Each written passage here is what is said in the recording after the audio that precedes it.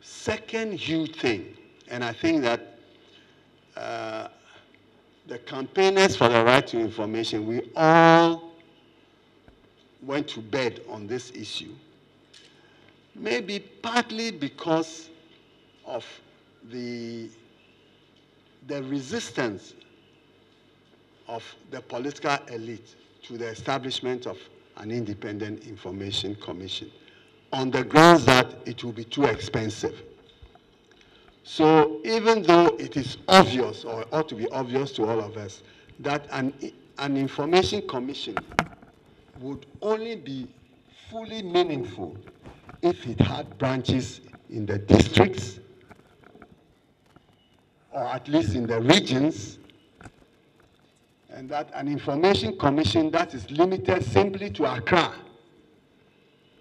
is, is part of the problem that we have with lack of access to information for the vast majority of the people.